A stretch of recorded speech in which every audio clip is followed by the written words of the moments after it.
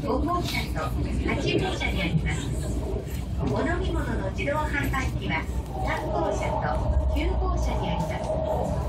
携帯電話はマナーモードに設定し通話は電気でお願いいたします次は新百合ヶ丘に停まります Welcome aboard the Limited Express Romance Car.